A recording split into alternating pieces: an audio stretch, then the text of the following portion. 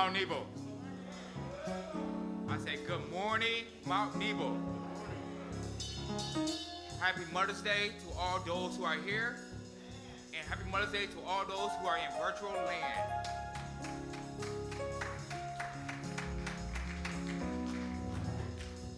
It is 9 o'clock. It is now time to start services. Ushers, can you man the doors? I was glad when they said to me, go into the house of the Lord.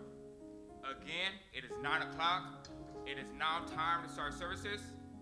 The call to worship, coming from Psalms 111, verses 1 and 2, in the ministry Dusty. Praise ye the Lord. I will praise the Lord with my whole heart in the assembly of the upright and in the congregation.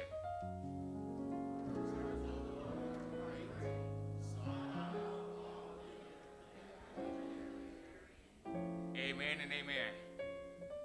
Dear God, it's me here again, standing in the need of prayer. First of all, I want to thank you. I want to thank you for waking us up this day. Thank you for starting us along our way. It is raining outside, but it is warm in our hearts. We thank you for those who are here and those who are on the way. I invoke our prayers upon this gathering. I pray for the one who's preaching the word. Touch him, strengthen him, and guide him. This I pray in the mighty name of Jesus. In the church said amen. amen. Now I put the service in the hands of the deacons.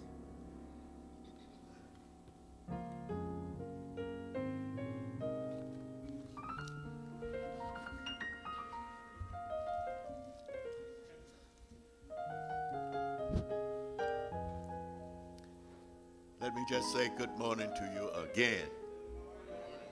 And happy Mother's Day to all the mothers in the house and all over the world. Uh, I remember a few years ago, Minister Tipley used to sing, If I could just hear my mother pray again. We miss him in that area. He used to sing that. All right, we are going to get going. Uh, I will read the scripture. It's coming from the Gospel according to St. John, chapter 2.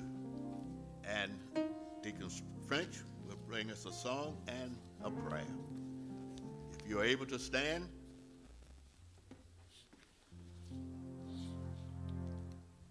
the Gospel of St. Luke, first 10 verses.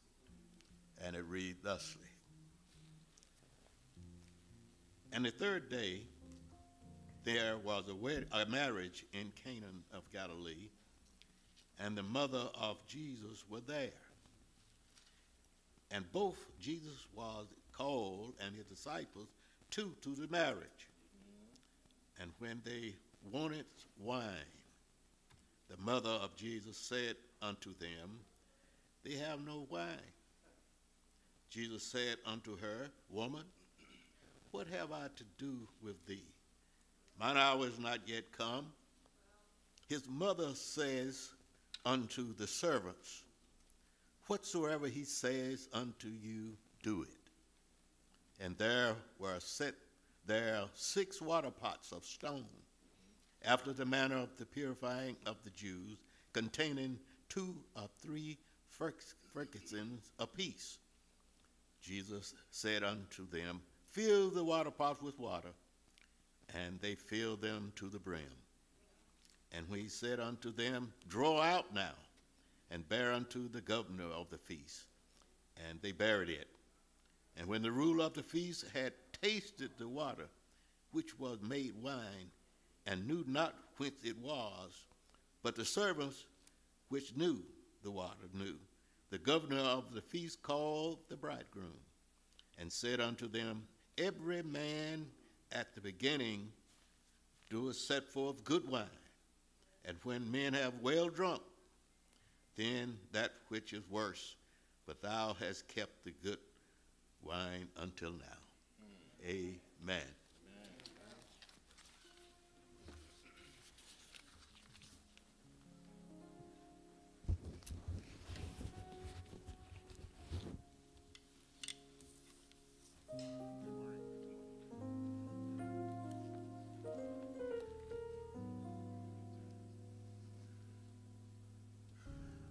Again, good morning. Good morning.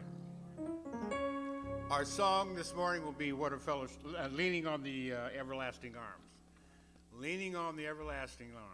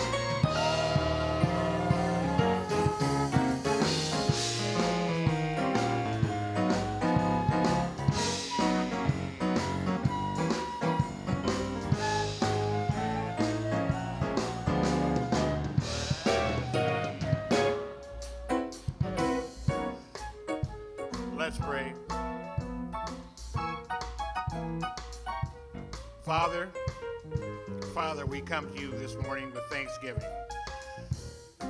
Creator of mankind, creator of the world.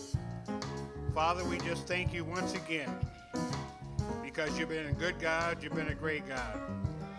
Father, this morning we want to thank you for salvation. Father God, again, we look at this as May of 2022. Father, half of the year is almost gone. Father, we just thank you for bringing us this far. Father, again, we just thank you. We thank you for grace. We thank you for mercy this morning, Father God. We thank you for the many blessings that you, you bestowed upon us this morning. We thank you for love kindness this morning. We thank you for peace. We thank you for your joy. We thank you for happiness, Father. Father, you've been again a great God. You've been a good God. You've been moved many mountains within our lives, Father God. And Father, this, you know the situation within Iraq. Father God, we just ask a special prayer for the families that lost their loved ones. And Father God, we ask that you touch the sick and shut in this morning, Father God. And Father God, we just ask that you touch our auxiliary heads this morning in the church.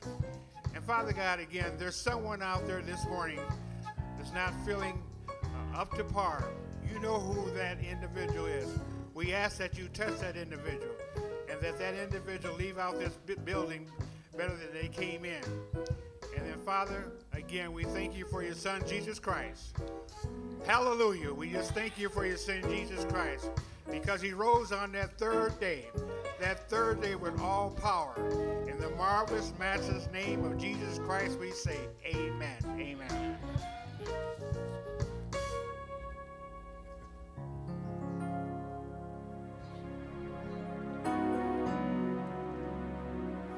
Good morning, Mount Nebo.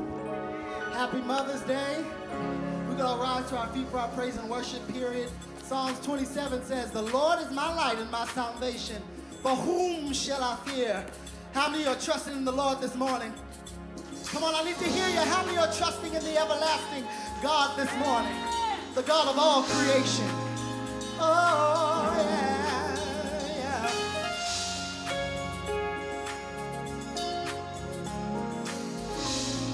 top right here. The Lord, my light and salvation, whom shall I fear? Whom shall I be afraid? The Lord, my light and salvation, whom shall I fear? Whom shall I be afraid? The Lord, the Lord is my light and salvation. Whom shall I fear? Whom shall I fear? Whom shall I fear? shall I be afraid?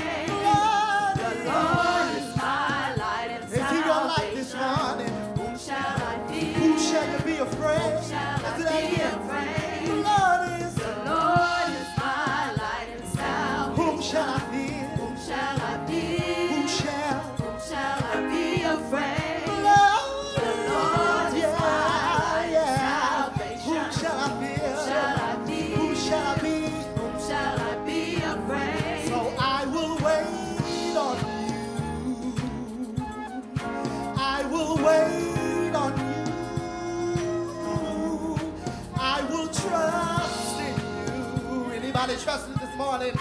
I will trust in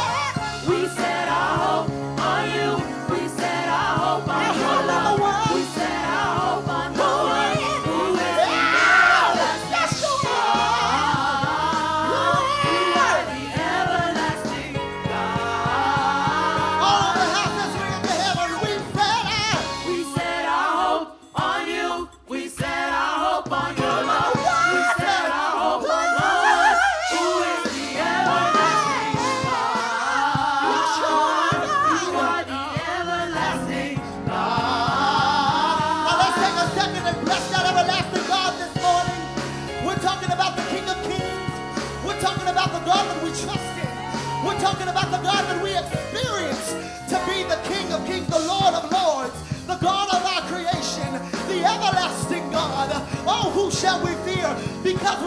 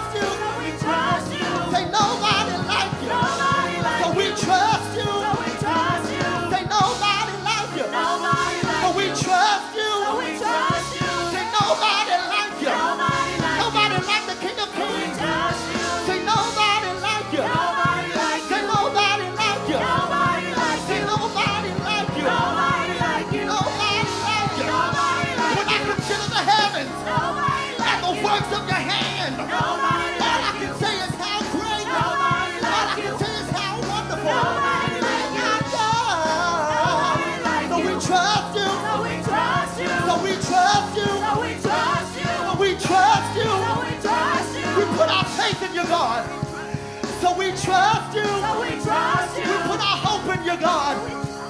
So we trust you. So we trust you. So we trust you. So we trust you.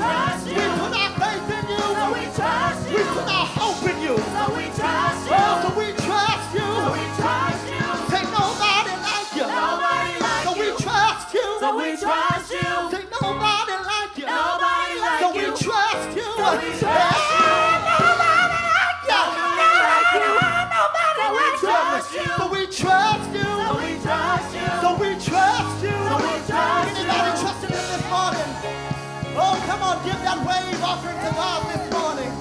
He's kept you all year long. And the God that you know who to trust, we're going to continue to praise him. Yeah, yeah. Oh, so we trust you. So we trust you. So we trust you. So we trust you. We put our faith in you. So we trust you. We put our hope in you. So we trust you. So we trust you. So we trust you. So we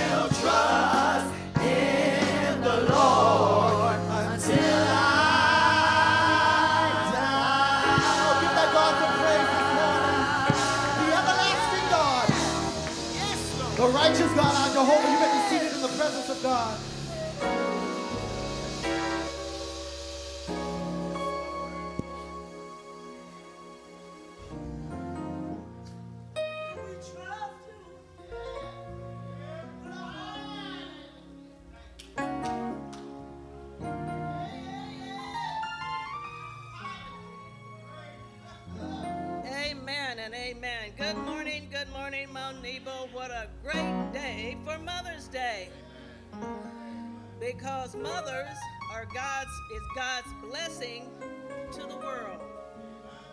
And the greatest gift in a person's life. Amen and amen. Let us now prepare our hearts for our purpose and mission statement. On the count of three, we shall recite together one, two, and three. The purpose of the Mount Nebo Missionary Baptist Church is to bring men, women, children to a saving knowledge of Jesus Christ, to develop them into the likeness of Christ, to train them in the biblical principles of worship, prayer, and Bible study to encourage one another by engaging in fellowship, practicing stewardship, and rendering service, to glorify God and edify the body. Dream it, dare it, define it, and do it. It is now time for opportunities of the week, dates to remember.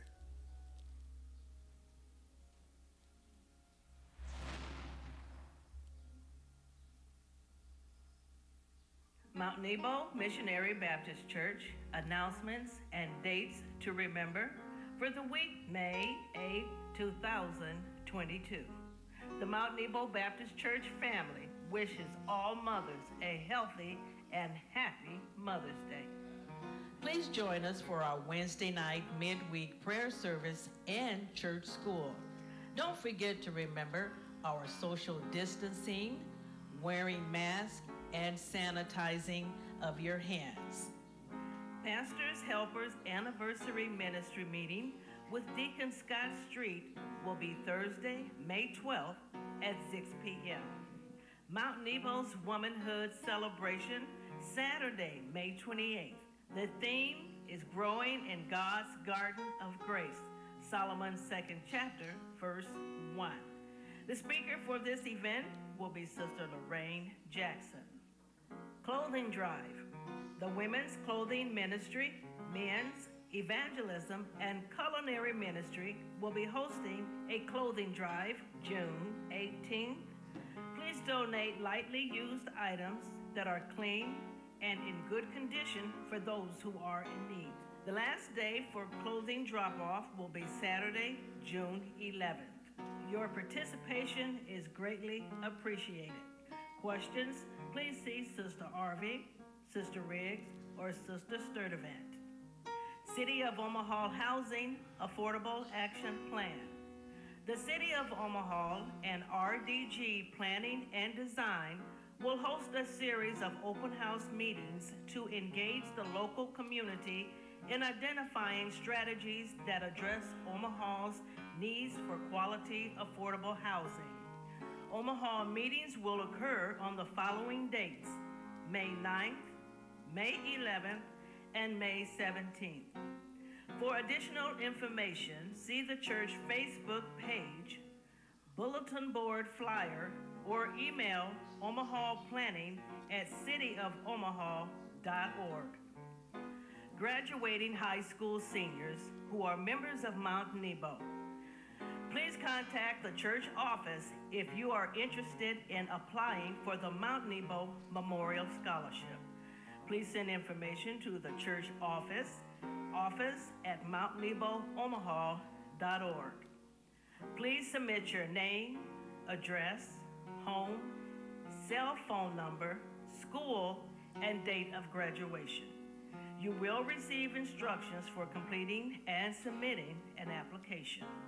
Applications will be available on May 1st and are due by June 6, 2022.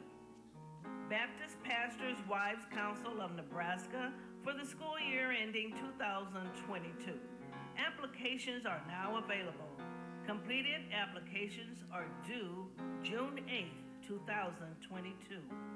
If you are interested, please contact the office at mountneboomaha.org.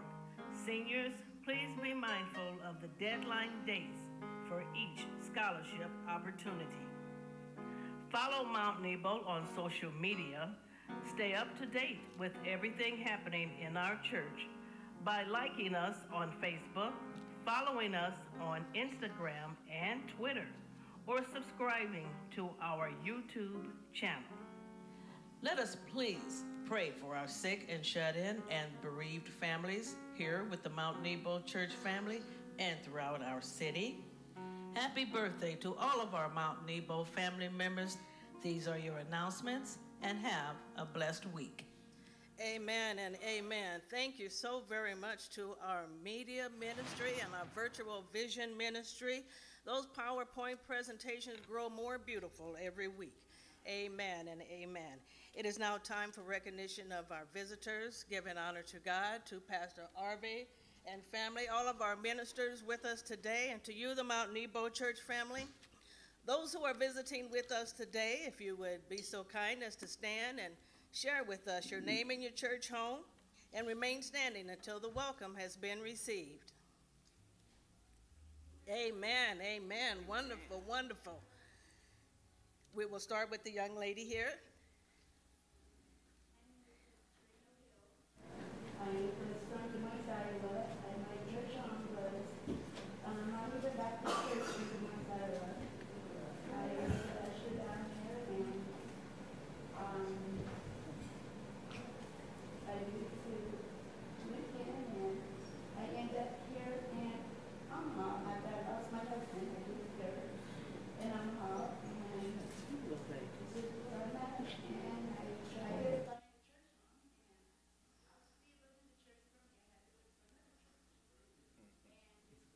a church home. where I need to be at. I just thank you guys for, um, having me here.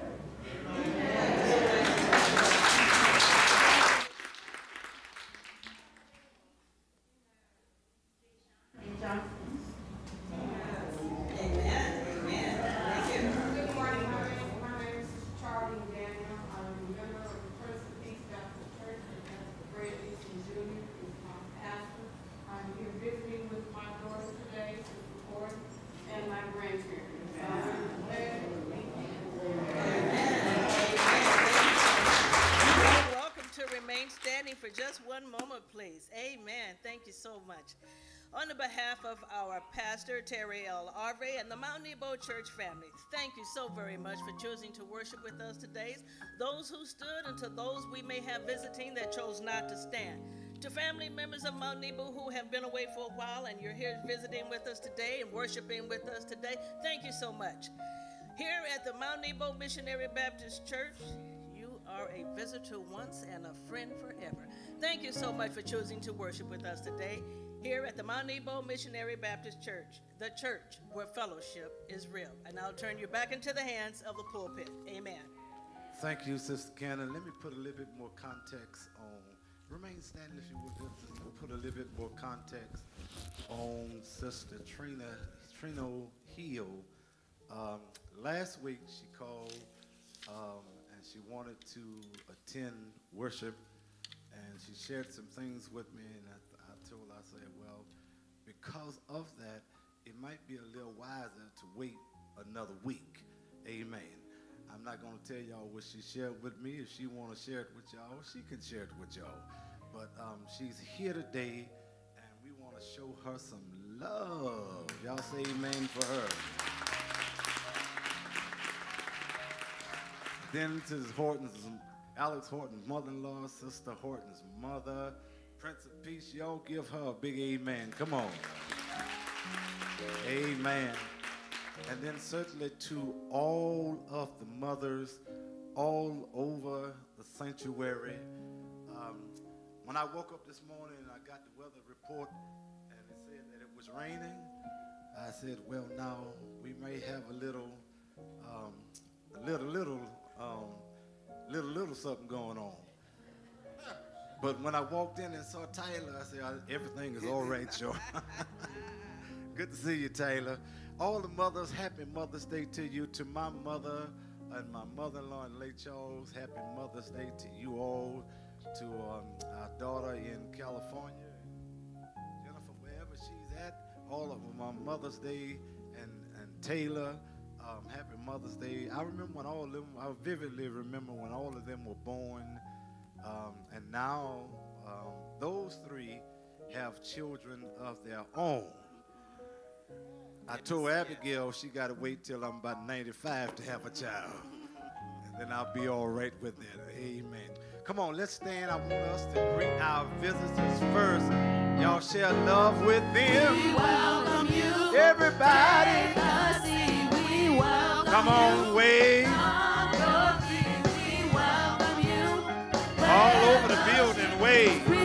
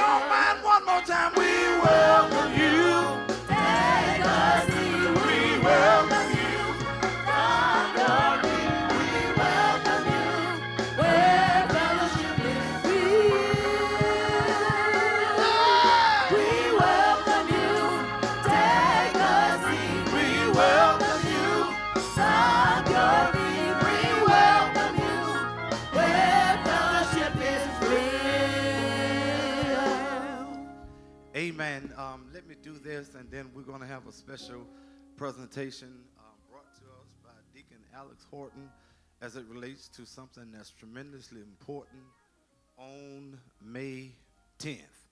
If you're going to, um, if you're not going to vote, then you don't have a right to complain.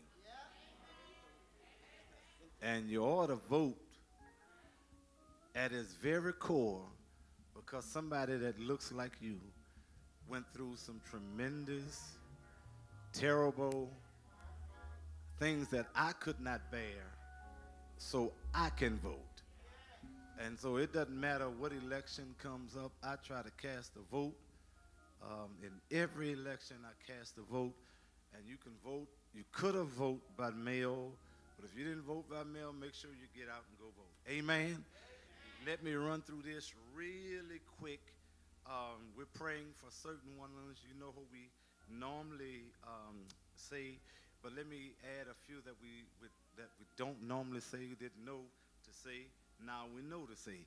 Um, Sister Kim Black has a son, Kevin Black, had emergency surgery over in Michigan on May 5th, and she's requesting our prayer, church prayer. Brother Lindsay had um, surgery and is on the mend, recovering at one of his niece's house. We want to pray for him. Sister Evangeline, Sister Evangeline, uh, Evangelist Davidson is back home now, and we want to pray for her. And then yet early this morning, Sister Bobby Payne left a message for us, and um, her sister passed um, in Omaha on early this morning. Uh, Valine Robinson, and we want to pray for Sister Bobby Payne and family. Amen. Then we want to um, say this, and then we're gonna move out of the way for this special presentation. Um, Deacon RJ, stand up, but Deacon. Everybody know you. That's the Deacon. That's the De- Deacon General Giant. Amen. His daughter um, uh, and Sister Beverly's, their daughter. I don't. Uh, is Sister Beverly here? Not here today. Um, he and Sister Beverly's daughter um, got mastered on May 22nd. Will be mastered on May 22nd in counseling psychology. Boy, that's all right. Counseling psychology. And you know what, bro, RJ? There's some psychology when you're doing some counseling. Um, so we want to pray for her, and God will bring her wherever her education can take her, and even beyond where her education can take her. And then my daughter, I almost forgot about this. Uh, she's going. I don't know when she's going to be returning to service. Sometime in June, I think, um, with, with little Leia, Layla. Um, Taylor um, is now mastered. She walked on yesterday and got her degree. She's now mastered in curriculum and instruction. Amen. And so thank God for that. And then again, to all of the mothers, just want to say happy Mother's Day. And you know, you don't want to make a promise to a mama and break it. Amen. So might I try to make a promise to you mothers today? Somebody say, oh boy. might I try to make a promise to mothers today? I'm going to hold you long, but it ain't going to be long. Amen. Y'all didn't get that, but y'all going to see it later on. Come on, Brother Alex. He's going to make this presentation. Give us about 10 minutes. I think voting is more than important than 10 minutes, but it's sure enough important for at least 10 minutes to get out via live stream. Amen.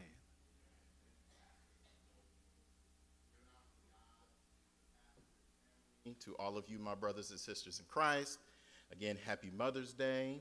For all those that are here, this is my first Mother's Day without my mother. So um, it's, it's, but we're pressing on. We're pressing on. But I wanted to come talk to you all today about something that is near and dear to my heart. Um, and I, I first must give appreciation to Deacon Sherwood Ellis because he's the one who put this fire in my heart, and that is to serve civically. Um, voting is very important. If you've not been watching the news, we'll talk about that in a minute. But the primary for Douglas County, as Pastor has said, is this Tuesday. I will be working in the commission on this Tuesday. So if you call, you might get me. Uh, if you did not register to vote by last Monday, you cannot vote on Tuesday. 40% of voters in Douglas County had their polling places changed. 40%. Now, I'll leave that up to you to determine what 40% is going to change for. The Secretary of State's office this year, they are predicting about a 35% turnout in voting. But in 2018, in the last local election, only 24% of voters in the state of Nebraska showed up to vote. 24%, not even a quarter. So you might be thinking, eh, it's no big deal. I gotta, we, we, can vote in November. We can vote in November, no big deal. Well, let me tell you a, little, a few things here. First, redistricting, also known as gerrymandering at times, happened in September 2021 due to the state legislature. They redrew the districts in the entire state of Nebraska. There were 35 yeas and 11 nays with one vacancy. There's 31 Republicans that voted to redraw the districts. There were 17 Democrats that voted to redraw that voted no to redraw those districts. That meant that five Democrats voted like the Republicans did. And of course, there was a vacancy. So District 2, which is where we are, uh, it grew uh, because of the redistricting, but it grew in the west part of the district. What does that mean? That means that there are more people that don't look like us that are making decisions for people that look like us. Redistricting changed more than just polling places and who represents you. It'll change everybody. And, and you, you may not know this, but it also changed your children's right to get affordable education and where they're going to go to school. Uh, back in December, I think of this past year, my wife and I, we got a letter in the mail that said that Rihanna, she's a student up at Burke High School, and she's bused at Burke High School. She's been bused for two years in a row. She was no longer going to be able to be bused at Burke High School. That's because of the redistricting. They changed her homeschool to the new high school that's being built on 156th and Ida. So we're thinking, okay, no big deal. But she can't go to that school because they're only accepting 9th and 10th graders. That changed because of the redistricting that was decided down in Lincoln and signed into law by the governor. That changed. So your voting affects more than just ticking a dot on a ballot somewhere. It affects your everyday life. It affects how you pay taxes, what taxes you pay. It affects what polling place you go to. It affects your kids' right to get a, to, to go vote. And it, it affects your kids' right to get on the bus. So you're thinking, okay, that's no big deal. I can take my kid to school. But what about the single mother or the single father who has to be at work at 8 o'clock, whose child goes to school with Rihanna at Burke High School, and they have to be there at 745, but they live and they work in Council Bluffs? What about them? How are they going to manage this? So why is it important to vote? It's important to vote because your local elections shape the national election. States run elections, not the federal government. The state that you live in runs the, runs the election in your area. We vote for the persons who sit on our utilities council, on our city council, on our school board. That's our responsibility. Your rep in Washington that goes to Washington, D.C. to raise or lower your taxes, you vote for that person. You even vote for sheriff. Now, a few weeks ago, uh, Brother Wayne Hudson came and spoke to us and said why he would get the job. We didn't hear from the other candidate, but the other candidate did get pulled over the other day doing 107 in a 65. So why would I vote for somebody that can't follow the simple laws? The minority party right now is controlling the decisions for everybody. The majority party seems to refuse to fight for the folks that put him in office. Voting is the one single way to hold your elected officials accountable. It's our job to say you're hired or you're fired. That's our job. That's our responsibility. So, as Pastor said, you know, a lot of people have fought and bled and died for this right. You know, the, the, the 15th Amendment that gave us the right to vote was ratified in 1870. Why, a little less than 100 years later, were we still marching and getting dog sicked and fire hoses turned on us and getting beaten, bricks hit over the head to exercise a right that we'd had for 100 years already? And we're still trying to fight for that right. We're still trying to protect that right, still to this day. So states, let me, let me, let me say this and then I'll go to my seat. So I looked at this, I had this discussion with some of my coworkers and we're talking about the recent uh, Supreme Court opinion that's getting ready to come to light about Roe versus Wade. And I'm not going to go into the, the, uh, the one side or the other of Roe versus Wade because that's not my place. That's your decision to make. But I will say this the decision doesn't take the right to choose, it gives it back to the states. So that means your governor, your local officials are going to decide a woman's right to choose what to do and how to uh, decide what she wants to do with her health. This is a trigger law state. Nebraska was a trigger law state. That meant that if Roe versus Wade was overturned, that immediately a bunch of laws would have outlawed a bunch of things in this state when it was overturned. And there's 13 other trigger states right now that you see on the news. More than a, a, a, dozen conservative states have passed similar measures, but because of some elected officials here in this district fighting on our behalf, in your behalf, right. that did not pass. But it's on the ballot again in November. Other laws in this country will soon be under attack your right to vote is already under attack.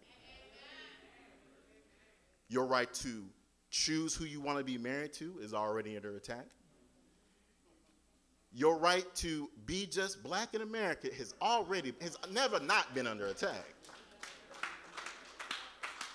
So I kind of went this way with my coworkers because we were there were a lot of people in an uproar and, and a lot of people were bothered by this. And so I said, let's look at how voting affects a long-term process. So I looked at the just the justice Samuel Alito, uh, who wrote this majority opinion that's making all this hubbub right now. And I said, how did he become a Supreme Court justice? Well, Justice Alito was born in Trenton, New Jersey. Uh, he's a graduate of Princeton University. In 1985, he belonged to a group called Concerned Alumni of Princeton, which was a group of, of alumni that tried to keep women from being members of Princeton University. He argued 12 cases before the Supreme Court. One of those cases was Thornburgh uh, versus American College of OBGYNs. It was a challenge to a Pennsylvania law that was found unconstitutional that required women to be told that abortion might have detrimental physical and psychological effects on mothers.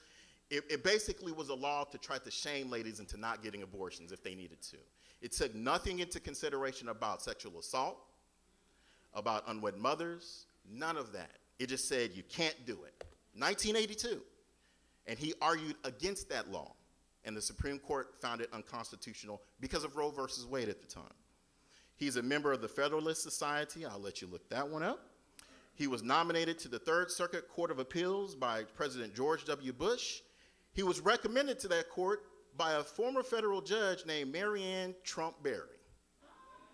Yes, the sister of the 45th President of the United States.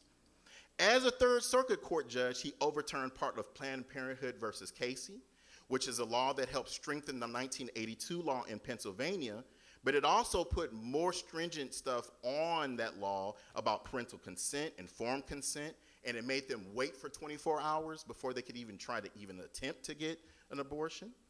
He wrote a dissenting opinion in a case called Doe versus Groody, where, and this one tripped me out, where a, a drug task force in the state of Pennsylvania suspected a husband and father of selling methamphetamines. They got a warrant to search the house. The mother and the daughter were not suspects. They asked a, a female parking enforcement officer, a person who writes parking tickets, to come search the wife and the daughter. That is illegal. It's illegal. And he wrote a dissenting opinion on it, saying it should be legal. He was nominated by the President Bush to the U.S. Supreme Court, again, recommended by Maryanne Trump Barry. There's this theme there, y'all. Uh, he refused in his confirmation to state whether he would overturn Roe versus Wade. He was elevated to the Supreme Court, and as a justice, he wrote a dissenting opinion in Bostock versus Clayton County, where three different employers fired longtime employees for just saying that they were part of the LGBTQ community. Just saying they were part of the community. And of course, he wrote this opinion uh, that's out here right now. Maya Angelou once said that when a person shows you who they are, believe them the first time. We saw this coming, and we did nothing about it. We didn't do a thing about it. That falls on us. That falls on us as voters. That's our responsibility. By the way, uh, Maya Angelou's book, I Know Why the Cage Bird Sings, it's a banned book. It's banned along with To Kill a Mockingbird, Of Mice and Men, I know, right? Of Mice and Men, The Handmaid's Tale, and yes, the Holy Bible is a banned book in, in schools and in other places in this country. We are the ones that are in charge in this country, not the hired and elected politicians. It is our job to hold them accountable. That's our job. And there's nothing wrong with talking to them face to face if you need to. I've, you know, uh, Dr. Logan and I, we've had our differences, but I'll give it to her. She and I have sat down and we've had discussions, and she's taken accountability for things. And I praise her when she does things right, and I hold her accountable when she does things wrong. That's my responsibility. That's our responsibility. We are the ones in charge. People have, like Pastor said, people have fought, bled, died for this right. Don't waste that right. Go and vote. It's the easiest thing to do. They make it so easy. You can get a, you can get a, ballot and have it sent to you. I picked this up two weeks ago. Got one for Alexis. It's her first time voting.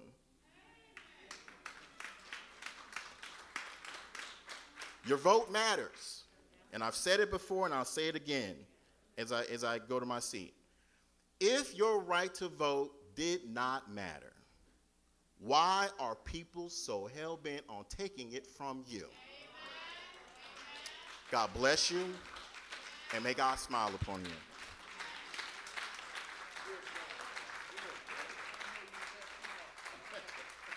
He has adopted a practice of preachers as I go to my seat. And you know, when you say that once, Give them about five, ten more minutes. Say amen for this presentation just one more time. Amen. We're going to, we're going to give now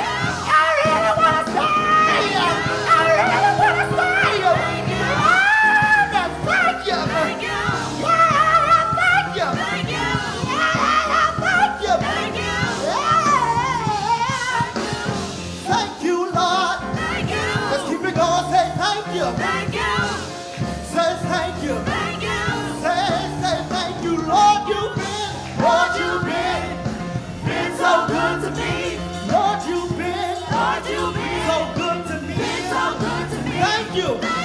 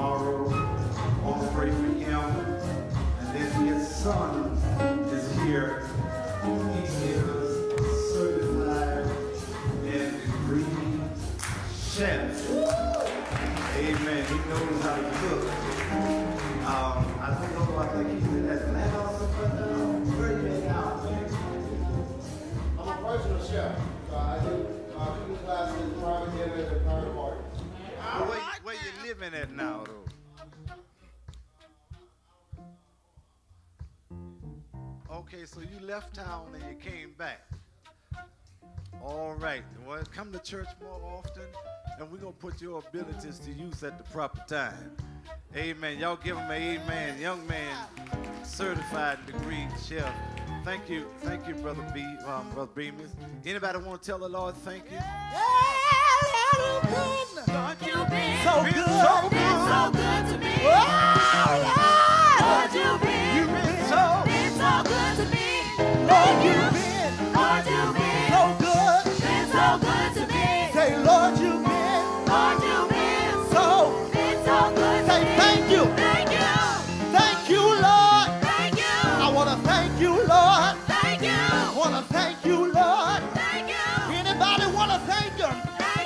we got to thank the Lord this morning for everything that he's done.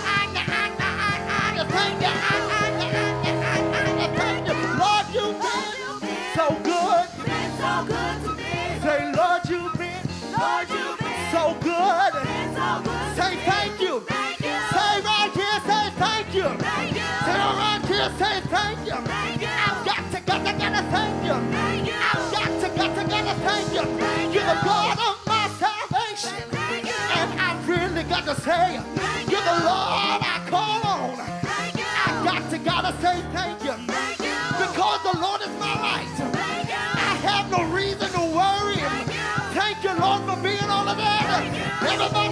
Say, thank you, Lord. Say thank Thank you. Thank you, Lord, yeah. Thank you. Say thank you, Lord. Thank you. Say thank you, Lord. Thank you. Yeah, yeah, yeah, yeah. Amen. Our youth has a presentation um, that they're going to give two mothers right now. COVID has changed some things.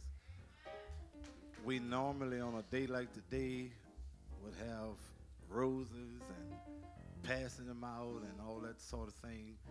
But on today, um, our youth director is going to have a reading for us. And then on the way out, uh, our youth director and, and co-director, Sister Hall, they will be stationed in the vestibule.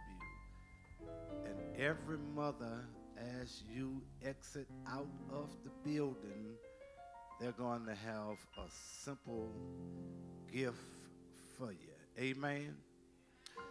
Um, so let's receive Sister Latasha Washington now.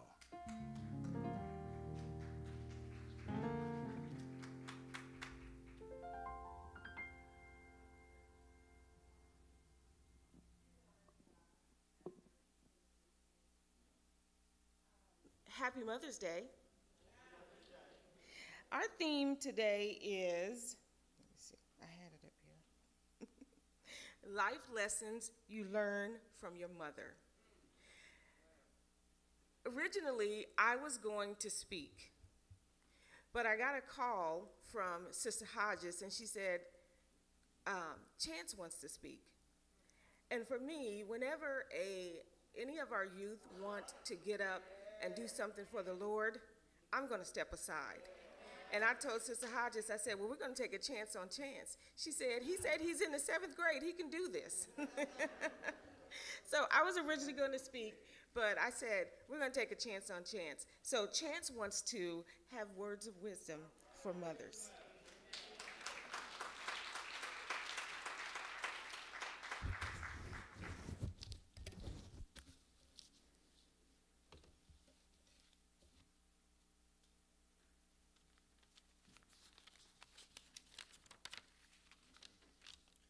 Good morning.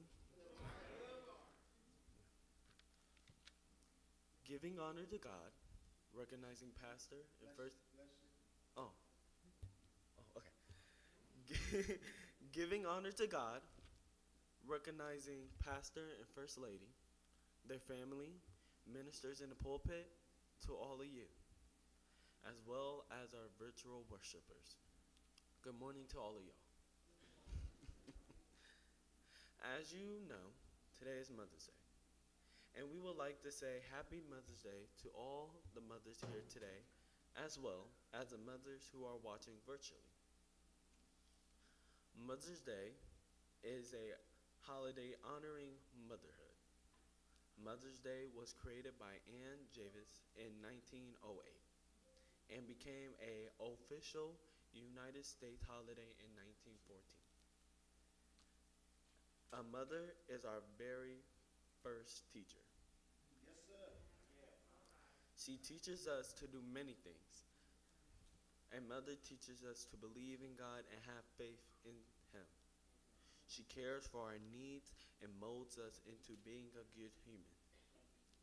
A mother encourages us in our school studies, Bible studies, our talents, and teaches us many moral lessons. A mother is an important model in our lives. She brings us to church and, pr- and her prayers and good wishes are always there with her children. A mother is our first and best friend. Her shoulder is always there in times when we feel low. She never judges us and shares her life experience with us which makes us strong. She guides us through difficult times. So we should always love and respect our mother and her thoughts. It's, it is our duty to take care of, our mothers as she did in our childhood. And for some of us to continue doing so now. Today, I will like to take the opportunity to thank my mother and be grateful to her and God for having me in her life. Enjoy the rest of the some enjoy the rest of the service. Thank you.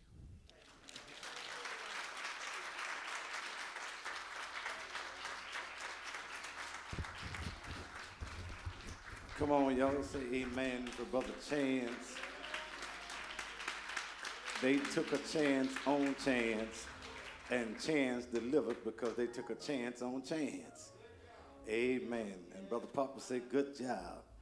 Amen. Come on, y'all give us that song. Um, um, our choir is, is, not going to sing, our ensemble is not going to sing. Um, I'm going to go straight to what I'm going to do so we can have you out early. Come on, Minister Rashawn. Good to see you, man. You can leave that suit with me when you when you're through today. That's my favorite color, midnight navy blue. Amen.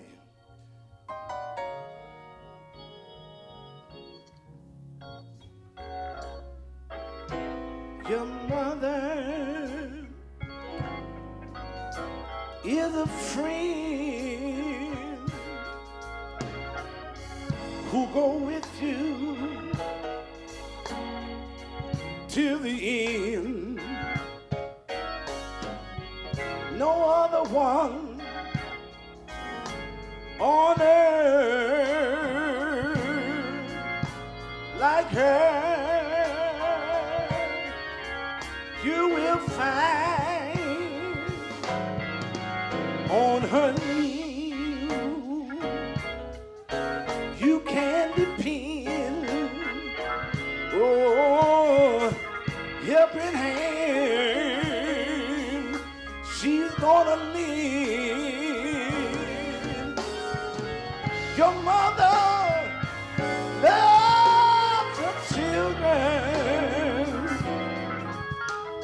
time. Anybody know that song is true by the Reverend E.L. Harvey? Oh, your mother is a friend who go with you until the very end. No other one on earth you'll find, oh yeah, on her you can depend. A helping hand. Your mother, she knows how to live.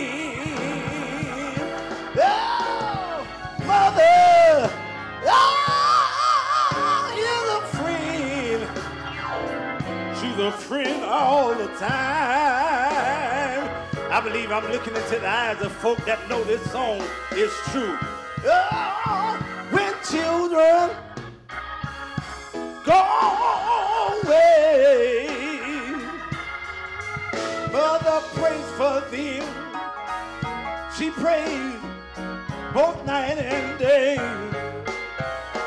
She's always, she always keep them resting. Keep them resting on her mind. She's always down on her knees, crying, Lord,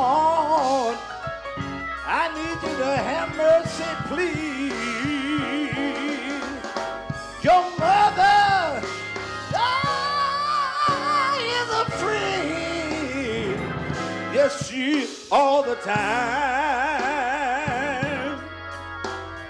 Oh, your mother is a friend. She's a friend. She's a friend all the time.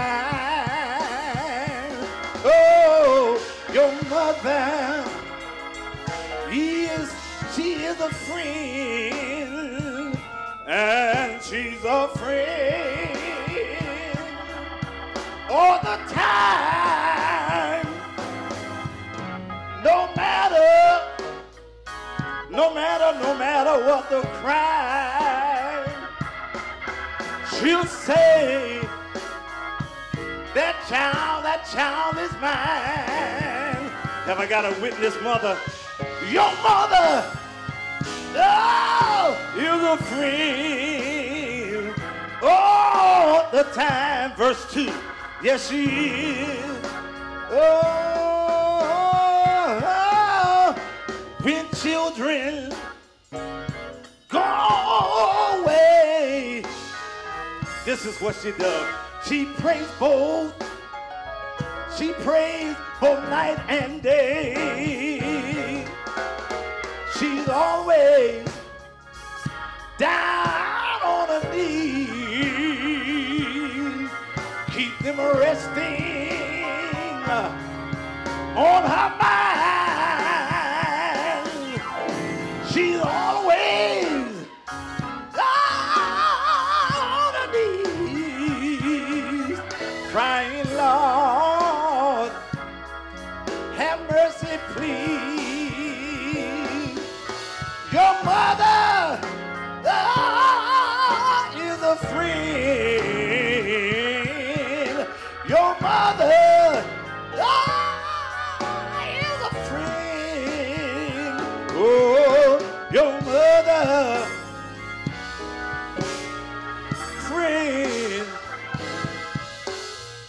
the time.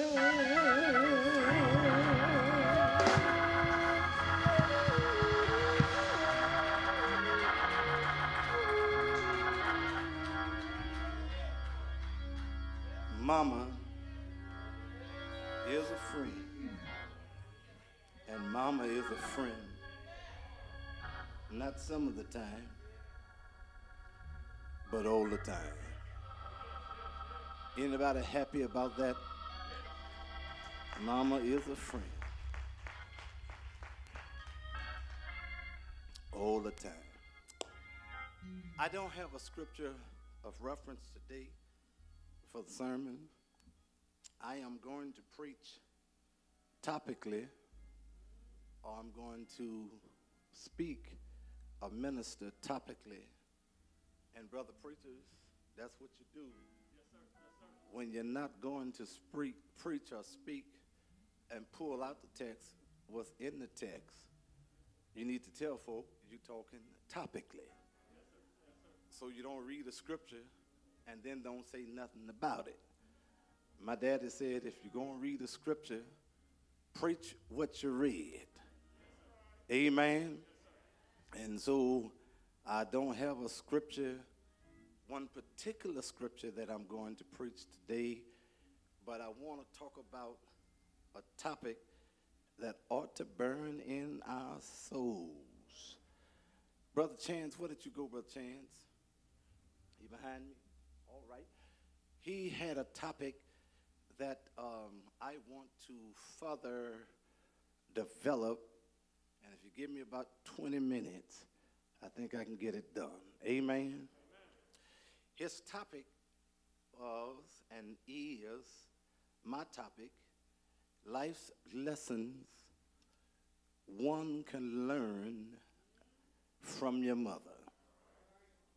Brothers and sisters, I think I need to say very hurriedly that, um, with the exception of Adam and the exception of Eve, a common thread that runs with every man, woman, boy, or girl, no matter where you live, east, west coast, north, south, no matter where you live, if you were born after Adam and Eve, everybody has a mother.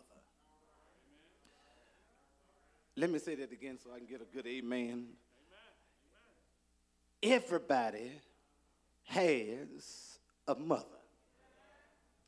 And so, to that end, I think it is a reasonable conclusion to draw from the fact that when God created mothers, brothers and sisters, what God did, He added a very special ingredient, unlike none other when God created mothers, uh, He created uh, a mother with the capacity to have what I want to term and dub and say and state into the saying of your ears, your earlobes, and to your craniums, uh, that He gave a mother what I call, He gave a sacrificial love. I mean, mothers can love in ways that nobody else uh, can do. For the lyrical expression of the Reverend E.L. Harvell, who made this song sung by many across the country, he produced it and copyrighted it in 1936. And um, E.L. said that your mother is a friend uh, all the time. And to accentuate that sacrificial love that God gave her, that He didn't give uh, to the male gender, so to speak, He says, uh, no matter what the crime, that mother will always say that this child is mine. I wish I had a mama in here that didn't mind saying amen and say, I know what you're talking about. I know when my child got in trouble, it didn't matter. He was up for first degree murder, got convicted of it, serving 50 years. But no matter what the crime, that child is still mine. I wish I had a mama in here who wanted to say amen. Yeah, my son or my daughter got hooked up in some drugs uh, and they're on uh, jail in jail serving time uh, and, and they put a lot of folk on drugs. but that mama still rises up from her bed and declares no matter what the crime, that child is still mine. I'm just talking today, y'all. I'm just talking today. And you know, God knew what He was doing when He created Mama. Yeah, God knew what He was doing. And you see, whenever you you look at Mama, Mama, yeah, y'all don't mind me um um shorting that thing down from mother to Mama. Mama is the one who rises up. Early from sleep to soothe the cries that's coming from the crib. Mama is the one who's willing to sit beside the bed with a cool hand to bring soothing feeling to a feverish brow.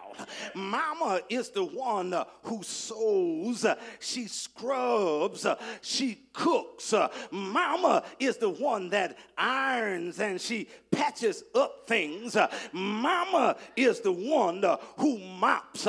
Mama is the one who sings that forever, um, never to be forgotten lullaby. Mama is the one when you scan and you skin up your knees. Mama is the one that put bandages uh, on your knees. Mama is the one who comes to church and sits in pews and hears memories and having its memories.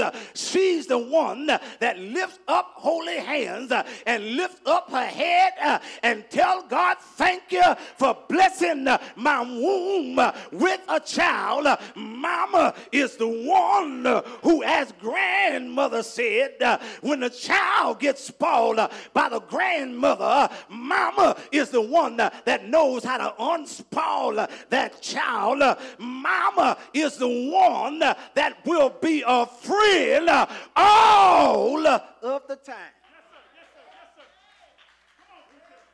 Y'all still with me? And so, Brother Street, I did a little biblical research.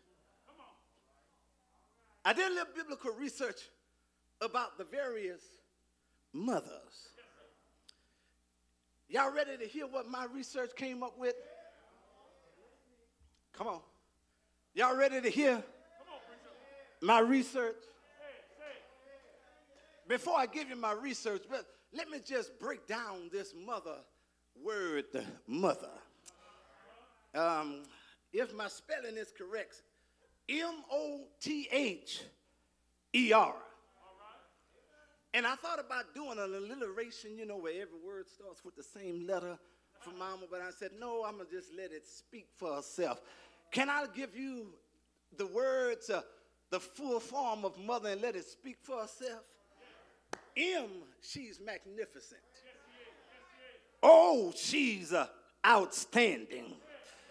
T, no matter how tough life gets, uh, she knows how to be tender. H, she's honorable. E, she's extraordinary. And thank God for the Oro. Uh, after being magnificent, outstanding, tender, honorable, uh, and extraordinary, Mama knows how to be remarkable. Somebody ought to say amen for your mama. She may be dead and gone and resting in the grave, uh, but you ought to tell God, thank you, you had a mama. She might be in the sanctuary with a hat on, uh, looking beautiful, but you ought to thank the Lord that she's still alive. She may not be at church, no matter where your mother is. You ought to thank God uh, that God uh, gave you uh, a magnificent, outstanding, a tender, uh, honorable, and extraordinary and remarkable mama.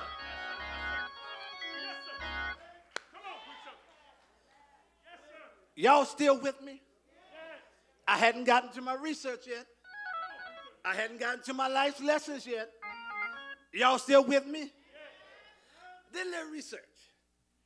And Eve is the mother of all living.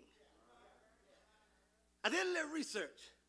And Sarah is the wife of Abraham, the mother, of Isaac, and the grandmother of Jacob.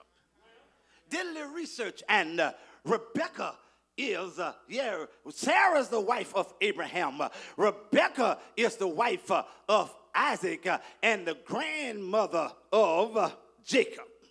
Did a little research, and uh, I found out that Moses, Miriam, and Aaron's mother name is Jochebed did a little research, and uh, Hannah is the mother of the prophet uh, Samuel. Uh, um, Bathsheba is the wife, was the wife of David, uh, and the mother of Solomon. Uh, Elizabeth uh, was the mother of John the Baptist, and Mary was the mother of our Lord and Savior Jesus Christ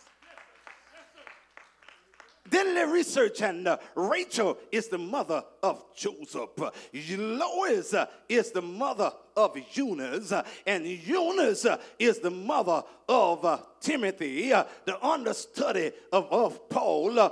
Watch this, y'all. Sarah, yeah, is the mother who waited. Uh, Hagar is the mother who endured. Uh, Rebecca is the woman who believed. Uh, Leah and Rachel is the mother who had to share a husband. Yeah, Jochebed uh, is the mother who had a plan. Samson's mother is the one that believed in following the, rules. Naomi is the mother-in-law who shared her faith with her two daughter-in-laws. Yeah, Hannah is the mother, yeah, who uh, remembered uh, her promise. Elizabeth uh, is the mother that believed in miracles. and Mary is the mother who the Bible says uh, that was blessed among all women. Thank God for a Bible mama. And so, y'all, there are some life's lessons that I want to share with you on this Mother's Day. And I told y'all I would hold y'all long, but I wouldn't hold you long. Ah, first lesson, Brother Chance, that I want to share with them, I want to further develop with you and Sister Washington and Sister Hall came up with. The first lesson I want to share good mamas tell their children never forget your roots. Uh, you see, you can keep mama happy if you just don't forget where you came from. Uh, um, too many folk, after God allows you to rub a couple of George Washingtons together, when at first you only could rub some pennies and quarters, we tend to forget where we come from. Um, Brother Damper, I see some folk a little cold, they shivering up. I, I don't want them to get too cold on me. I want them to stay hot. Turn that air down. Now. But but but but you, you don't want to forget where you came from.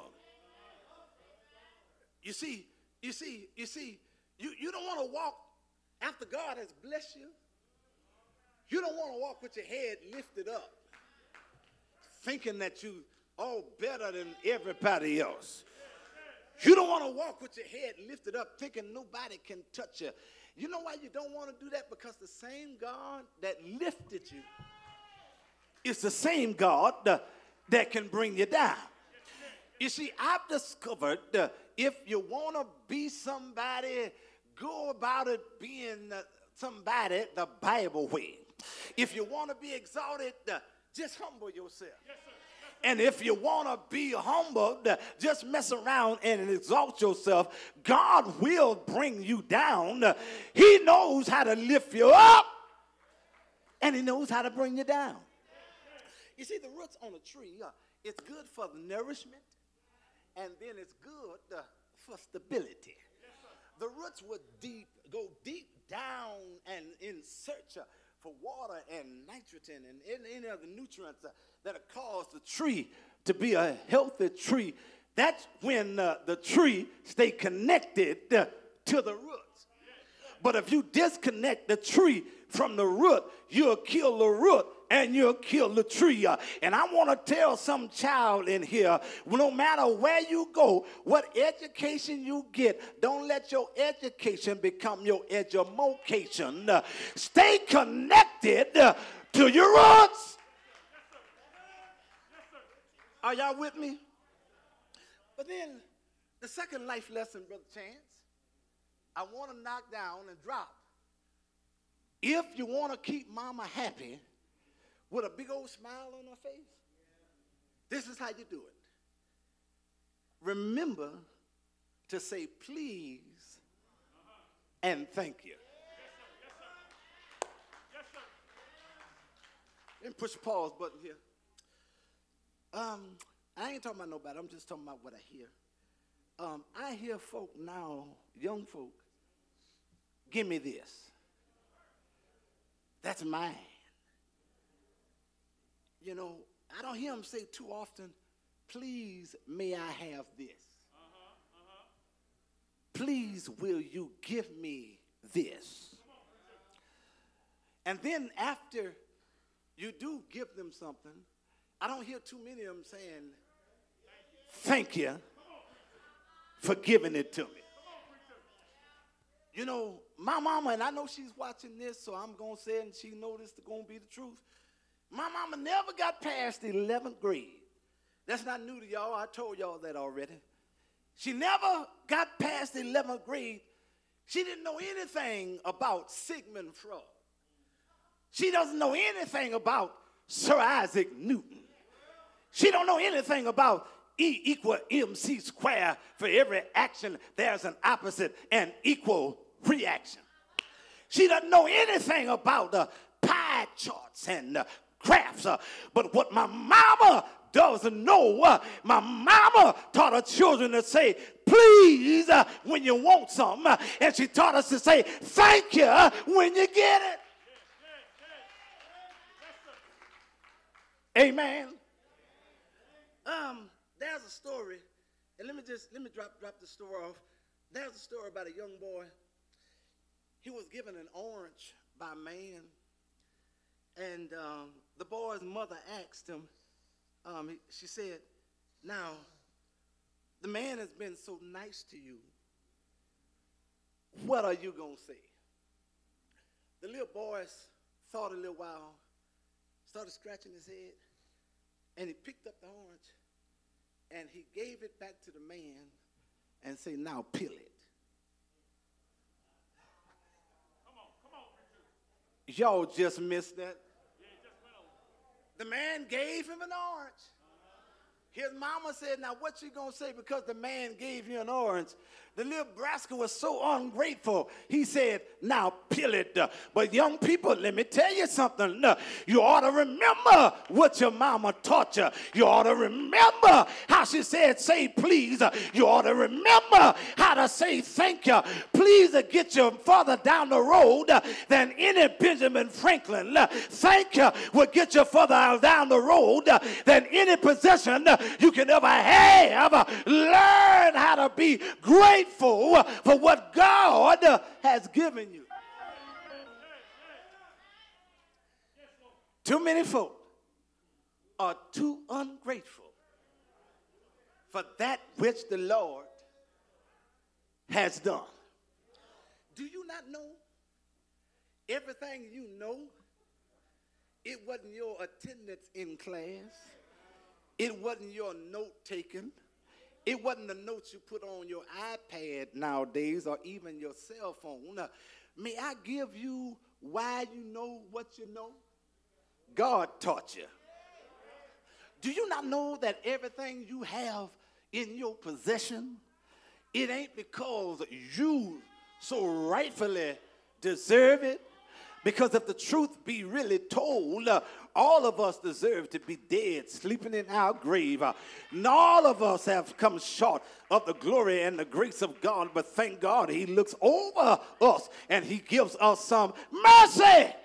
Do you not know uh, wherever you've been in life, uh, it doesn't matter if you've just been in Omaha or it's just been in Iowa or Denver or wherever you've been, uh, it wasn't the airplane, the Boeing 737 or the 747 uh, that took you there. Might I tell you who brought you wherever you are? It is the Lord who brought you where you are. And wherever you got to go, uh, it's not your accounting degree that's going to get you there. It's not your curriculum and instruction master degree that's going to get you there. It's not counseling uh, psychology that's going to get you there. It's not your engineering uh, degree that's going to make you there. Yeah, it's good to get those things. Yeah, you need those things. But remember the things your mama taught you, uh, that's going to carry you in this life.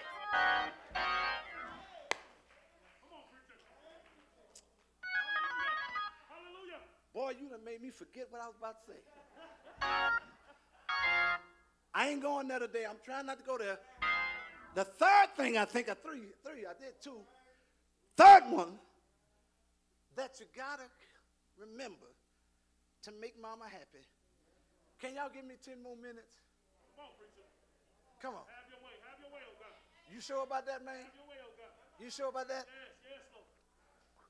The third thing I want to drop off to you that I think mama tries to teach is that she wants you to listen to some sound advice.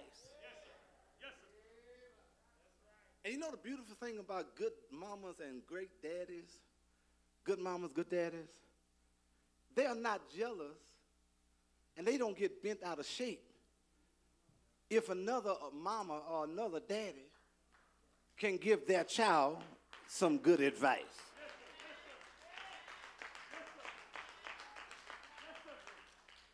Um, I remember, I don't have time to say that again, Sister Pal, but let me say this. I remember I was a young boy. Um, Mr. Guillory is dead and in the grave. Who is Mr. Guillory? Let me tell you who he is. He was the principal of the elementary school that I attended on Fitzenreiter Road in Lake Charles, Louisiana, called Riverside.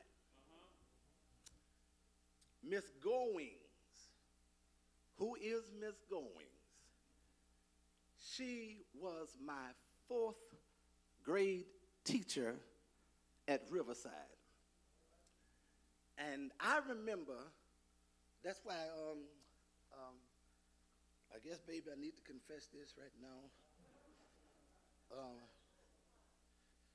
I don't get I don't get too bent out of shape about my kids in their young days, prior to seventh grade, having some excited issues. What are excited issues? Boy, y'all, y'all like this. EF Hutton. What are excited issues? These days in our school, excited issues is when they talk a little bit too much in school. It's when they pester other folk who are still trying to take a test. But they whizzed through the test so fast, they got bored, and so they had to bother somebody else. I don't get upset with that about my kids. You know why? I know where it came from. And it didn't come from their mama. the other party that's in the equation got to be their daddy. So I, I, I, I, I, I, I, don't get too upset with that because I know that there's going to be a settling down time. And that settling down time for them would be about the seventh or the eighth grade. They're going to start living and learning to act with some sense. Again, that didn't come from their mama. Say amen, baby. That didn't come from their mama, y'all. That came from me.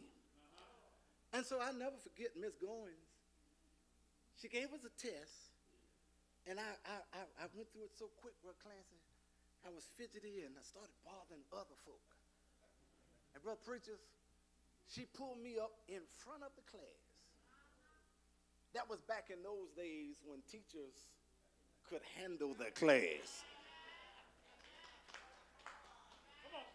Let me see if I can give you some measurements. She, she, had a, she had a ruler. Back in them days, we called it a paddle. It was about that thick. That's about almost two inches thick, inch and a half, and about the length, about that long. So she pulled me in front of the class, and um, she brought me there, and she put it to me. Then she sent me, you know, keep in mind, I'm talking about, you know, advice, listen to good advice. And my mama didn't mind other adults giving me good advice. Then she sent me to the principal's office. Mr. Guillory, and I'm sure Miss Goins is probably in their grave. Uh, Miss Guillory talked, he knew my daddy. He said, I ain't gonna call your daddy right now, but I'm gonna give you something that I know they don't mind me doing he pulled off his belt and he whipped me in the principal's office. Again, that's when you could whip other kids' folk and you didn't go to jail. Matter of fact, you whip your own child now, they try to send you to jail. Well, I want y'all to know, I've told y'all that before. My kids got whippings at my house. And if they still living under my roof, Terry's still living under my roof. He's, how old are you, boy, 23?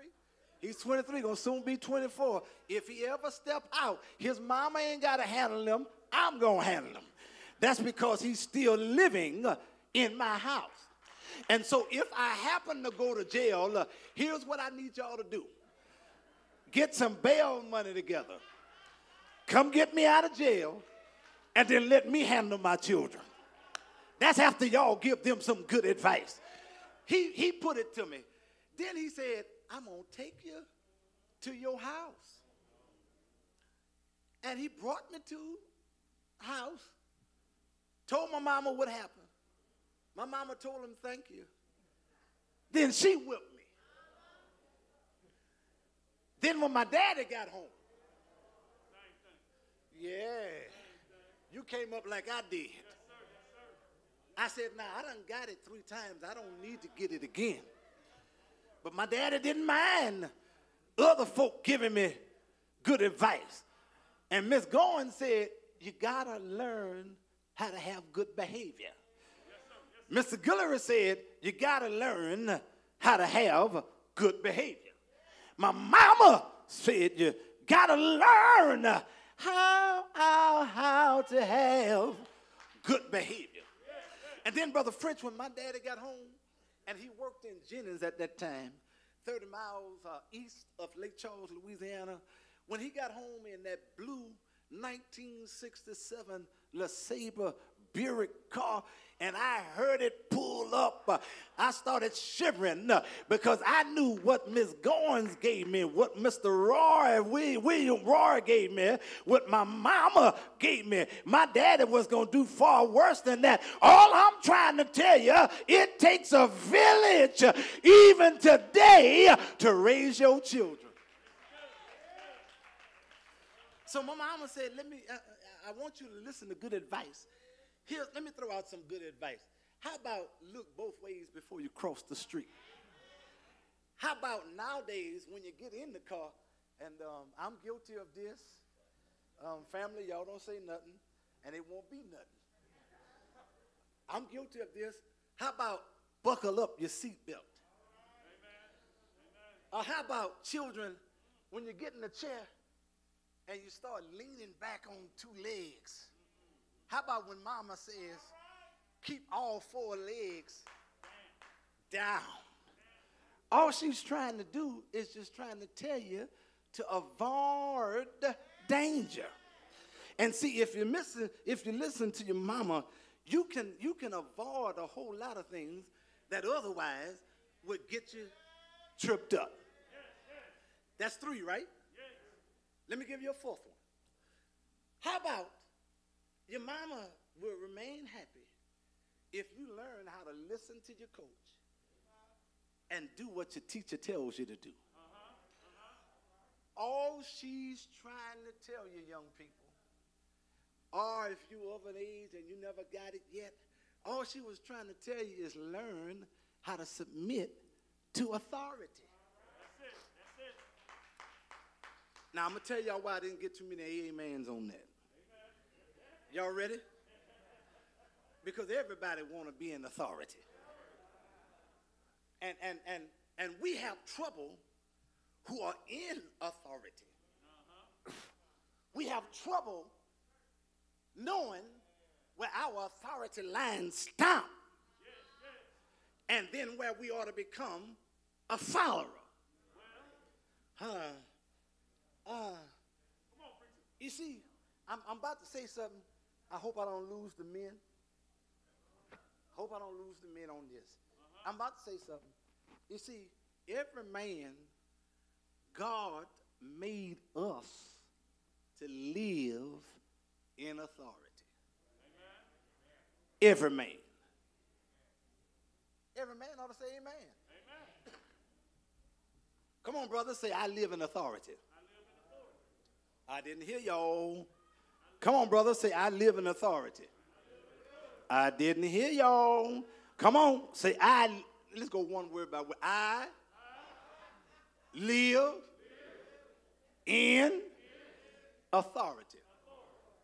Now, here's the problem we live in authority, so we don't like to submit too often to the authority of somebody else. Come on, brothers, y'all know I'm telling the truth. Watch this. If you don't think I'm telling, I'm, I got off my topic, but if you don't think I'm telling the truth, watch this. And ladies, I think y'all will agree with me. I'm talking. I'm I'm not. I'm talking. Watch this. Watch this. Ladies, don't raise your hands on this. But have you ever asked your husband to go? Now, now, now, now, now. I'm not saying that you your marriage ain't all that. Um, I'm, I'm, I'm, I'm, I'm just saying what I'm saying. Have you ever asked your husband to go to counseling? Don't raise your hand. Don't say nothing. Have you ever got the response? I don't need no counseling. We don't need no counseling. Don't say nothing. Have you ever asked him again and you got the same response? I'm going to tell you why. We, come on, y'all say amen, brothers. Y'all know I'm telling the truth. Come on, Tyler, you ain't got there yet, but you're going to get there. We, men, don't like to go tell our business to another man. I just told y'all something that's earth shattering women. Y'all order, y'all write that down. And that's why, that's why he been. Now, I ain't saying all, some of them will go, you know, but, but, but by and large, most of us won't go because we are in authority and we ain't gonna go, go submit to somebody else's. Now I ain't gonna say nothing about that more. No, about that. that uh, that's another lesson. Um, that that that that that what I would teach. But all Mama is trying to say: listen to your teacher. Listen to those who have authority over you. And child, children, if you can listen to those who have authority over you, you'll be better off than trying to show them some thing in the rear that you're walking with pants halfway down on.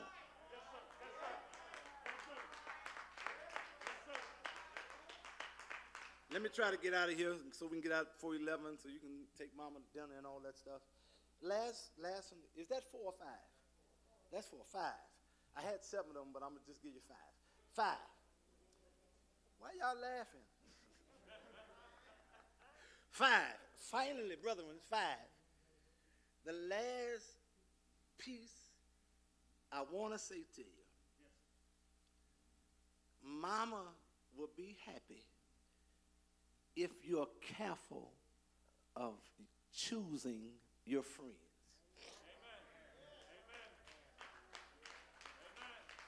First Corinthians, the only verse I'm going to refer to today, and y'all know I don't normally preach, I talk like that. First, but I'm talking how? Topically. So I'm talking about my topic. First Corinthians chapter 15, verse 33. Paraphrase says, bad company corrupts good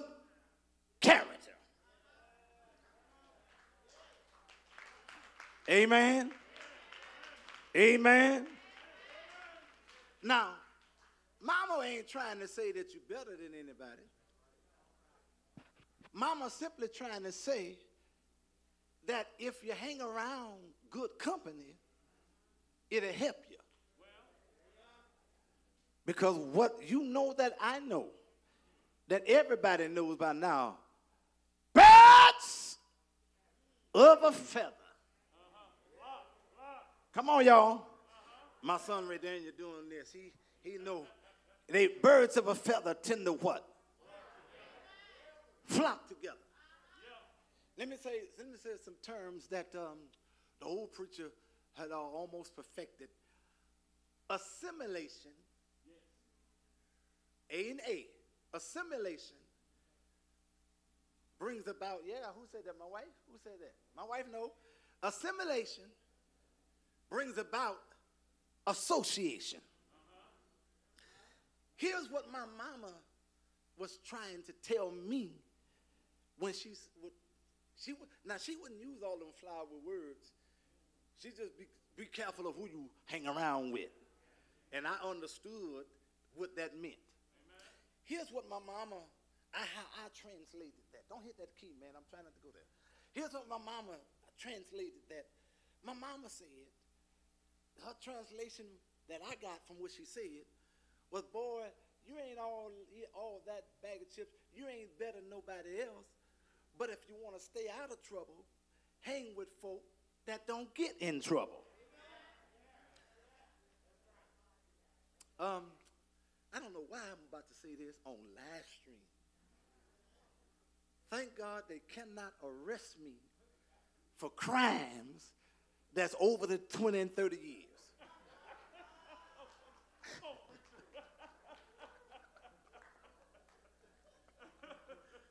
but I'm gonna confess this. Some of y'all, y'all gonna remember, that was a store, a merchant called T G N Y. Anybody remember that? Y'all remember that? Yes. Okay. And the manager was a little short guy, about, about that tall, big old afro. And we used to go to TG&Y, myself and my brothers and other friends. And there was another store that's just about obsolete with brick and mortar called Sears. Y'all remember Sears? S E A R S. And Sister French, we would go in there. No, Mama, don't don't get upset with me, but I'm just I'm just trying to get my point over. We would go in there. Bad company corrupts you. We we we would go in there, and we had what was called an NFL football league. You know, you know, you have the little stadiums that run by the electricity, and you got the men that that it, it moves on the on the field. Y'all remember that? And so we had a, a we had a, yeah we had a we had our own NFL teams on on on 1901 Knapp Street, and so um, and when when we needed replacement players, um, there was not a draft in those days for us. Um, we would visit TG&Y and Sears. Huh, I don't know why I'm saying this. Yeah. And we would swap out.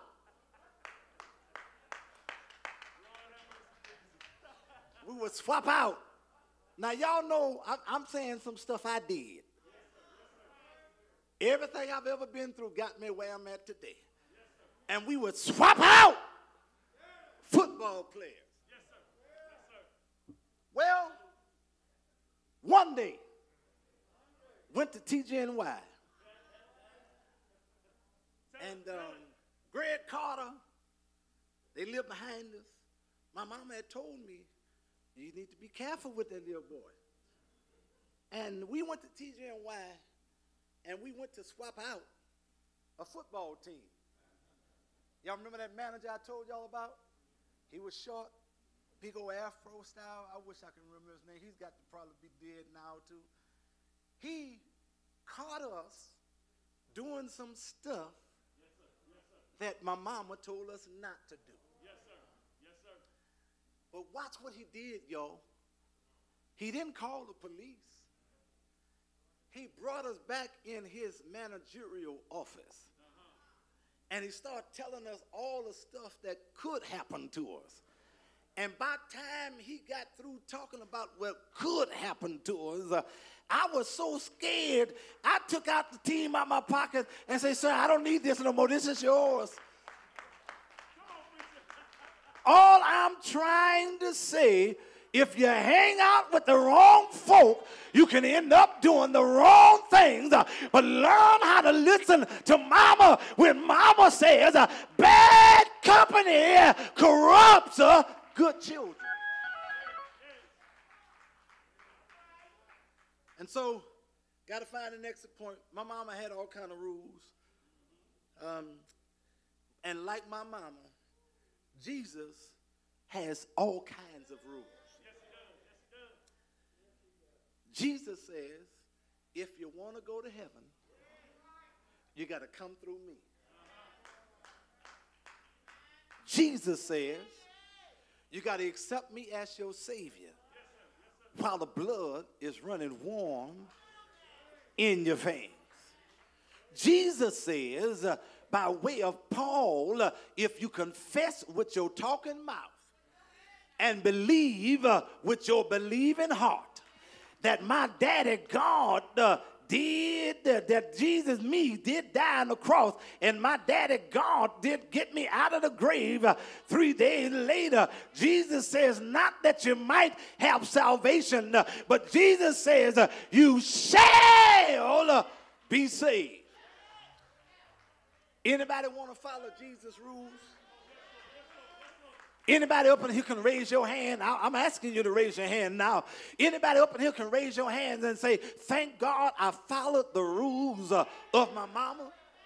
Anybody up in here can say, Yeah, sometimes I didn't want to follow them, uh, but I found out I was better off if I followed the rules uh, of my mama. And I want to tell you something today. You may not be following the rules of the Savior, but baby, you'll be better off uh, if you follow the rules of the Savior. It's never too late. And I'm closing, y'all. I'm, I done found my exit point. You see, when you're on the highway driving to Lincoln, there's a whole, before you get to Lincoln, there's a whole lot of exits you can take. I know that because when my son was a freshman, I put my Cadillac on the road every weekend to bring him, go pick him up. I got tired of that, y'all, so I bought them a car and let them.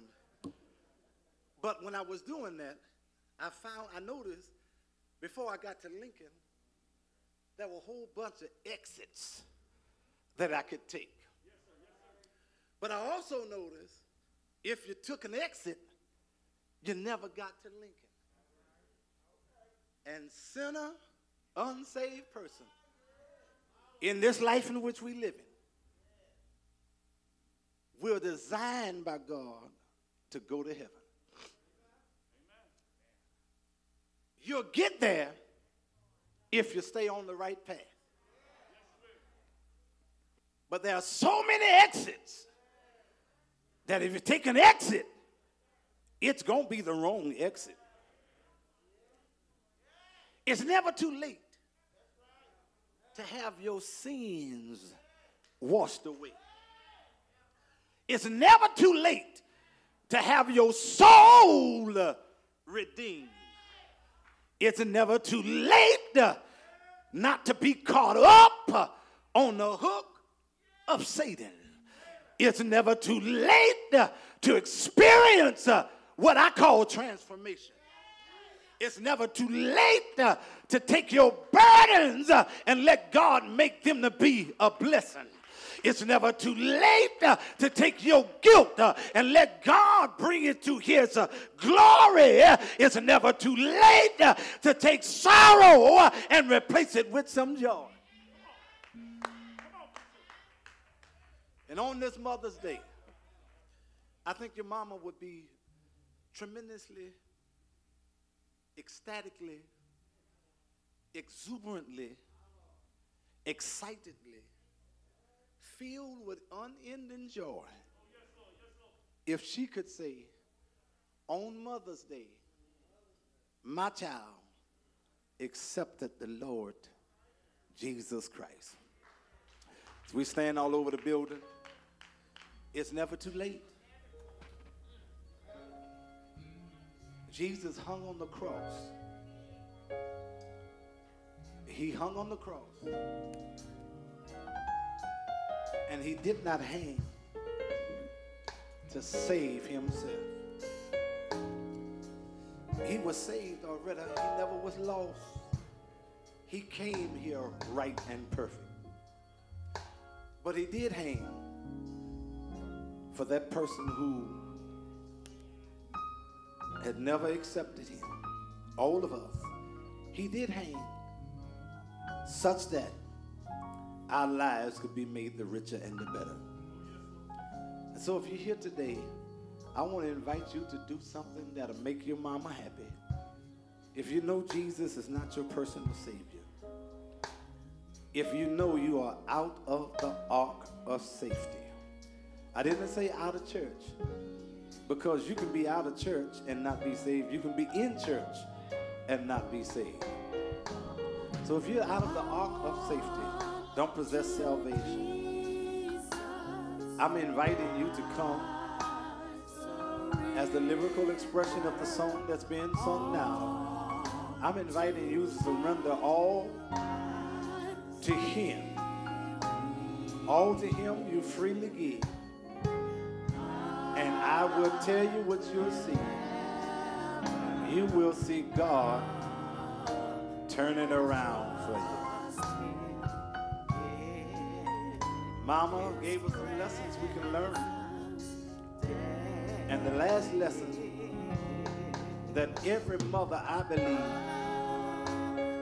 who is saved wants to teach her child, you got to accept Jesus as your personal Savior. You can't get to heaven on mama's salvation. If your mother is saved, that doesn't make you God's grandchild. You got to get to heaven on your own salvation. And right now, Jesus is robed with his salvation garments. But one day he's going to take off his salvation garments and he's going to put on garments that will allow him to serve as your judge. Brother, sister, I'd rather meet Jesus while he has on his salvation garments.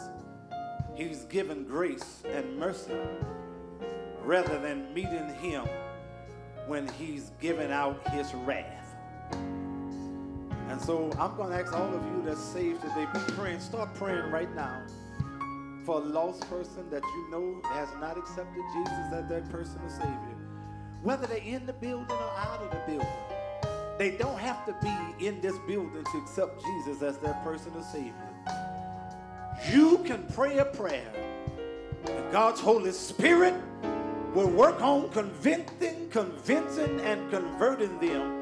And they don't have to be in church to get saved. God can save them wherever they are.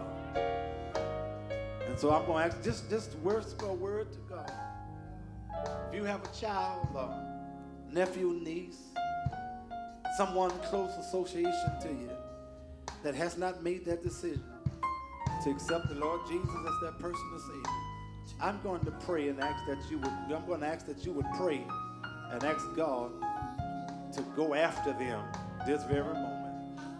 If you're in the building and you want to accept the Lord as your personal Savior, you can come. We will explain to you the simple process of being saved. You don't have to foam at the mouth.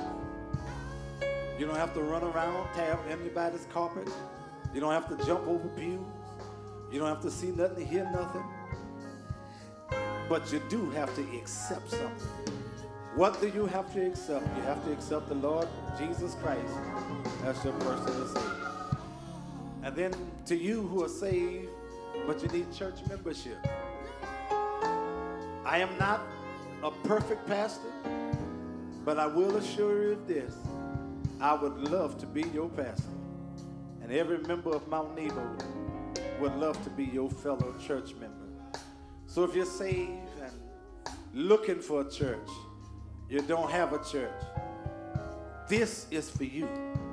If I was you today, I wouldn't walk out of this building not having a church home. You're not guaranteed to make it home. You're not guaranteed to make it back next week. So I would not take that chance leaving out without a church home. And then the day of you here, got salvation, got church membership, but maybe you just want someone to pray with you. If you will come, our deacons and a few of our preachers are here. We will pray with you. We will put your name before God. Whatever your prayer need, prayer request is, we believe the God we serve can and will answer prayer. Anybody know God will answer prayer? Come on, anybody know God will answer prayer? You may have to cry a little bit, but God will answer prayer. He specializes. He specializes. Heads about God our Father. And we thank you afresh. This day, many years ago, one being Anna Jarvis petitioned her city for celebration. And you moved on some hearts. And now we're here today celebrating what Anna Jarvis requested. And Lord, we pray and we thank you for blessing the womb of every mother. And then, Lord, we are cognizant of the fact that there are some ladies who did not produce a child via womb, but yet they serve in the role of mother. And we pray that you will continue to give every mother the strength and the resource to be just that to their children, to be a sure and honest mother. Give them the ability to lead as your word says they ought to lead. We pray now for the sinner who has heard your word but yet has not responded. We pray the next time they hear your word that a response will be on their heart. Lord, it is your will that no man would be perish, would perish. And Lord, we don't perish because you want us to perish. We perish because we never make the decision to make you our Lord. Thank you for the death of your son, Jesus. It is by him we get to you. No other way. He's the door. He's standing at the door. And he's going to be the one to close the door. But until that time, We pray for the salvation of souls. It's in Jesus' name we do pray. And the believer said, Amen. Give God a hand of praise. Just want to do a couple of things before we get out. Um, ushers are getting those out who needs to get out first. Um, thank. Let me tell you, thank you all for coming to church. Oh, Mount Nebo. I hope y'all can go and cut, cut the last stream off. If y'all have not, go and cut it off. Uh, Mount Nebo, you are a great church. The pandemic, if we didn't know it prior to, the pandemic revealed how great of a church Mount Nebo is. We are coming back for worship. Not come, well, we're still coming, but by and large, we have came back to worship. That's bad grammar. But we trust God and we believe God enough to come and to worship Him. Amen. Now, we want to be um, um, vigilant and we want to be um, good thinkers when we're in worship. When we're in worship, we wear our what? Say it aloud again. We wear our what? Mask. Now, I'm not sure how long that's going to continue. You know by now from watching the news that this variant is causing numbers to rise. But here's what we know. Here's what we know. And I picked that up early on. God dropped it in my spirit early on. Here's what we know. We know how to live among this variant. Amen. We've learned how to live among all kind of other stuff. We now know how to live among this variant. And one of our great defenses is this mask and our vaccinations. Um, got the two shots for vaccinations. You got the first booster, got the second booster, and I think they may be coming out with a third booster and a fourth booster. But just do what you need to do to stay healthy. Amen. Now, all the mothers that's in the room, y'all stand up. Whether you're a mother by biological process or you are a mother via giving direction to a child. All the mothers. Happy Mother's Day to you. Come on, brothers. Happy Mother's Day to you.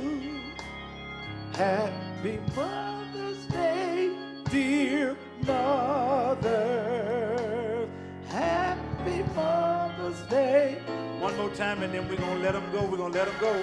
Happy Mother's Day to you. Happy Mother's Day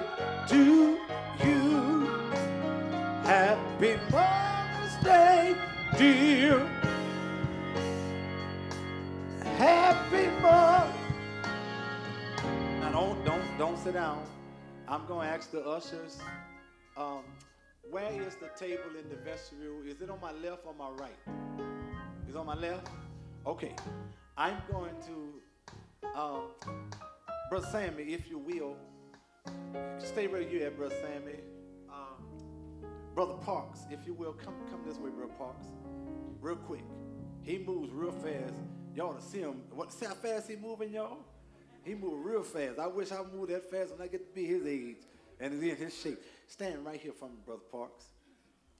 Now, um, um, Brother Ellis, can I get you to participate? No, no, Brother Clancy was an usher. Can I get you to participate? If you stand right at the corner, at the corner, yes. Now here's what I want, just the mothers.